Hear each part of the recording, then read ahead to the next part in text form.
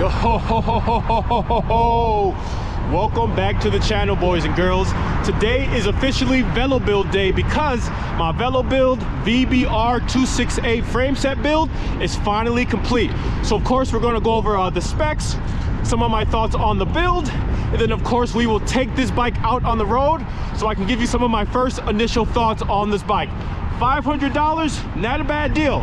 So without further ado, let's get cracking. Bro, look at my drip, man. Look at my drip. I got all the sponsors. I'm out here looking like a, a privateer. Got the Met helmet, man. Your boy Patty's probably the most stylish looking dude in all of Chicago. Uh, now, we are in the middle of April. It's about 66 degrees, uh, which means summertime Chi is almost here, guys. We are almost back to summertime. And you know the best part about summertime in Chicago is avoiding all all of the gunshots and gang violence because all you guys, whenever I bring up Chicago, it's like, oh my God, are you worried about getting shot? Like, bro, we're not out here chasing strays or ducking strays, whatever you want to call it. Chicago is not that dangerous. You basically have to go so far out of your way to find any sort of violence and criminal activity. And if you want to know about that, uh, drop it in the, I'm just kidding. Don't drop that in the comments. I'm not gonna let you know that. Anyway, let's take a look at my awesome Velo Build 268 frame set. All right, so bro. Look at that man. That's looking looking sexy. Let me just adjust this. All right that looking sexy right?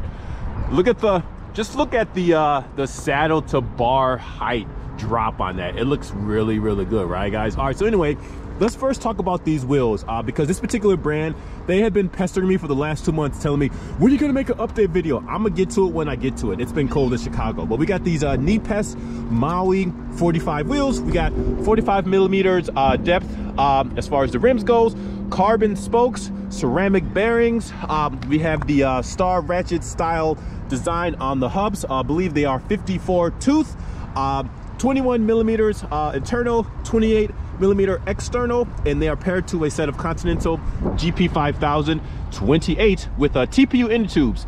Tpu inner tubes as you guys know you'll save about 100 grams over latex. Or butyl tubes i like them lightweight they work really really well. Uh, now my frame set is a size large or size 56 um, very very uh, comfortable. Whoops this is kind of ghetto. I gotta put that back down. Anyway all right so that's that. So um, I've already reviewed this saddle um, under one of the, the cheapest saddles that I've reviewed. It's like 70 bucks, 3D printed, uh, short nose, very, very comfortable. And it comes in at less than 200 grams. Uh, next up, let's talk about the drivetrain. So the drivetrain, as you guys see, we are rocking uh, SRAM Force ETAP one by here in chicago it's very very flat and i do have plenty of other bikes that run two by if i ever ever need the actual extra gears that come with the two by setup. Uh, now the chainring is by Pass Quest you can get them from aliexpress. Um, it's probably like maybe 35 40 bucks.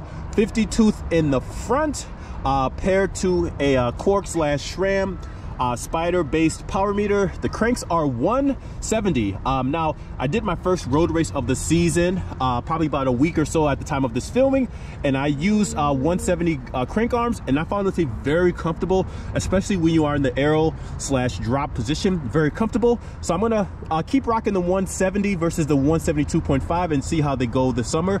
But the first time i've used them or the first few times i like it a lot. Uh, now the cassette out back is a SRAM Force uh, 10 to 28 uh, cassette. Like I said, very, very flat area, so I don't need a lot of uh, bailout gears. Um, next up, let's talk about this uh, Nova Ride slash Nova to Ride oversized uh, pulley wheel uh, system. Uh, thank you to Nova Ride for sending this out to me to uh, review. Um, setting this up on the SRAM Force uh, rear derailleur was a little bit more finicky and cumbersome than setting it up on uh, a Shimano rear derailleur, but nonetheless, um, they have pretty easy to follow instructions online and on YouTube.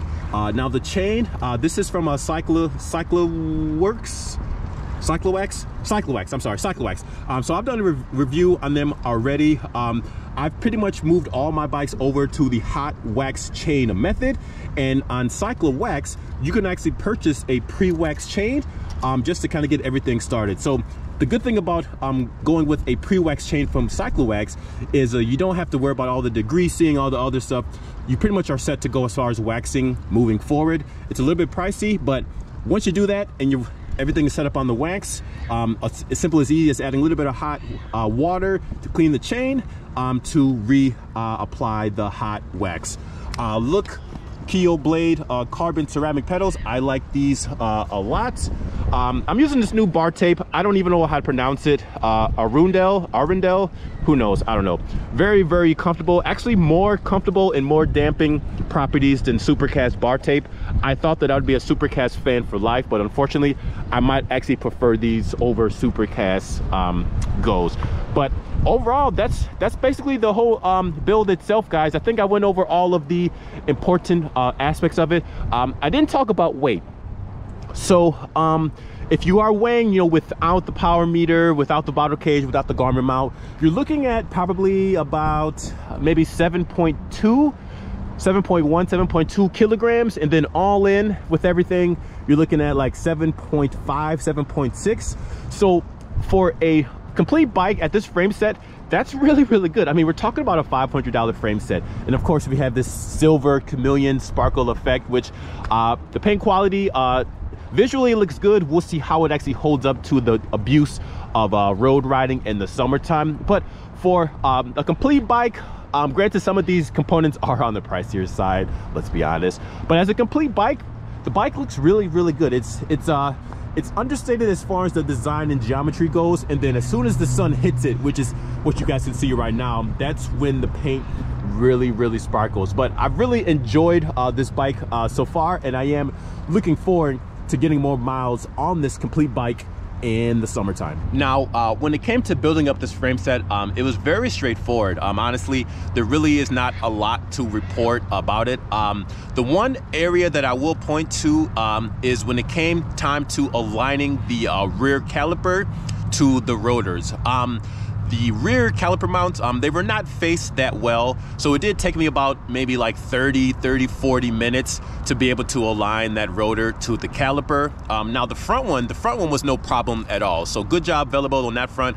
And again it's a $500 um, now I'm not making concessions for the fact that this is a $500 uh, frame set. I mean I've, I've had these little quirks even with more expensive uh, frame sets. But it is something to note um, you know when you're dealing with the $500 frame there are limitations to what they're doing. And these uh, frames are you know manufactured to a price point. Um, so just keep that in mind. Um, now uh, also too uh, with the uh, the seat posts uh, for my weight um, I haven't had any problems thus far on this ride with the seat posts um, sliding down. I've been able to torque it to a reasonable uh, amount of torque, like five Newton meters, and I haven't had any issues with that. Um, there is a little bit of creaking, and I'm not sure where the creaking is coming from, so I will have to troubleshoot that. Um, this is kind of what these shakeout rides are for. It could be either the, the saddle, because I am using uh, seven by nine carbon rails, and maybe the included uh, carbon rail mounts uh, for the seat post that Velobuild included. Maybe it's just not perfectly seated with those carbon rails. I don't know. It could be the bottom bracket, which by the way, um, for this, the the bottom bracket I'm using, um, it is courtesy of Panda Podium, as you guys can see. Uh, Panda Podium, uh, it's the, the Cybrei, is that how you pronounce it? Cybrei. Um, it's a ceramic bottom bracket. It's the uh, BB86 for dub slash um, SRAM uh, drivetrains. But all in all, the whole entire build was very straightforward. Um, routing the cables through the integrated cockpit was no problem at all. Um, and just the overall fit and finish visually, outside of that rear caliper mount, everything was a-okay. And that is actually especially considering the price point. All right, and we are riding the Velo Build 268 frame set. Uh, so let's do some housekeeping really quickly. So this frame set is $500, guys. That includes the headset bearings, the handlebars, etc. Now, if you are a new customer and if you are expecting a $500 frame to compete with a $1,000 or $1,200 frame set, this is not it. Now, does that mean that a $500 frame is going to be completely awful and just straight up rubbish? That's not the case either. So I think it's very important to set the expectations. If you're looking for a frame set to compete with like a Winspace or a Yoeleo, this is not gonna be it. But I think in terms of other affordable frame sets on the market, especially for the $500 price point, I think that this Velobuild 268 uh, is a really great option. So the main question that I had uh, with this uh, brand new 268 frame set is how does it feel uh, in comparison and with respects to Velobuild's uh, previous frame sets, namely the 168 and the 177. And I do believe, uh, again, this is just first ride, so you know how these first rides go. Um, I think that Velobuild did do a good job of blending those two bikes together. Um, it is uh, stiffer than my particular copy of the 168, um, while also being almost as lightweight as the 177. Uh, but the good thing with the 268 versus the 177 is this frame set is a little bit more aerodynamic, at least in its design properties. So if you are on the fence between the 168 and the uh, 177, I think that this is gonna be a good option. Now, in the stiffness department, hey, yo, that was crazy. Uh, when it comes to stiffness, uh, is this frame set stiff?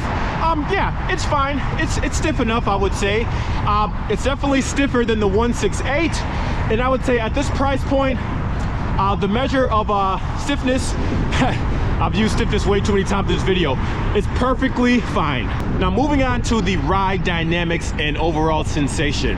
Uh, it definitely feels just a tad bit more refined than Velobuild's uh, previous frame sets. Uh, if you look at the specs on the website, um, if you do believe that they're using uh, Toray 1000 carbon and all that other jazz, yeah, the ride quality is, is a bit more refined.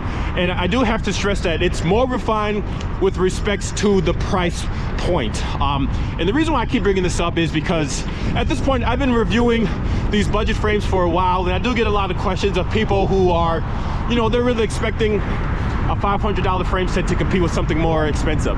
And it doesn't mean that this frame is is bad by any respect. It's, I think it's really, really good.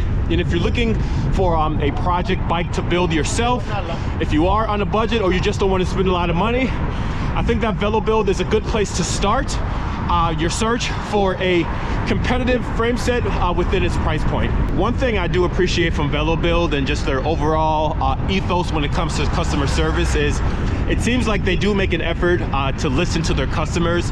I spoke about this um, on the unboxing of this frame set, but unlike some of the uh, other options in this price point, uh, Velobuild seems to constantly be making improvements to their customer service, uh, their consideration to introducing new frame sets. And I think as of right now in 2024, uh, this is probably one of the best frames you can get for the price point.